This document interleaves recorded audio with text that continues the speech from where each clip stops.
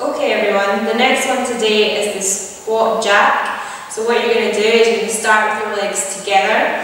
We're then going to jump our legs out about hip width apart and go into squat and then we're going to jump our legs back together. So it looks like so, jump out to squat and bring your legs together. So your arms going out and then bring them by your sides. So make sure your weight's on your heels the whole time and the land's nice and soft on your feet.